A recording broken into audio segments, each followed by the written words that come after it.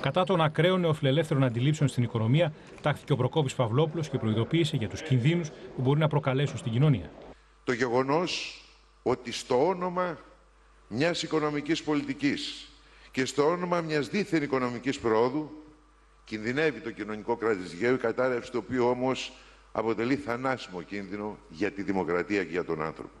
Μιλώντας στο Πανεπιστήμιο Μακεδονίας, ο πρόεδρος της Δημοκρατίας τόνισε ότι η άποψη της αυτορύθμισης της αγοράς μπορεί να οδηγήσει σε τεράστια κοινωνικά διέξοδα. Χωρίς δημοκρατική νομιμοποίηση ως προς τους κανόνες που εφαρμόζουν, μπορούν να κρίνουν τη ζωή των λαών και των κοινωνιών.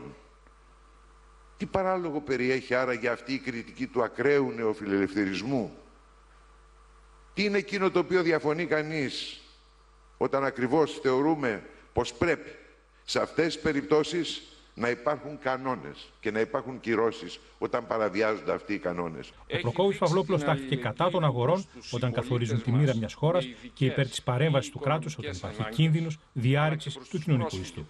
Ποιος είναι εκείνος ο οποίος θα μπορούσε να δεχθεί στη σημερινή κατάσταση ότι παραδείγματος χάρη μια ακραία συμπεριφορά αγορών, παραδείγματος χάρη αγορών οι οποίες έχουν τεράστια δύναμη να μπορεί να καθορίσουν την οικονομική μοίρα ενός ολόκληρου λαού ή ολόκληρων λαών μέσα από επιθέσεις οι οποίες δεν έχουν αντίβαρο.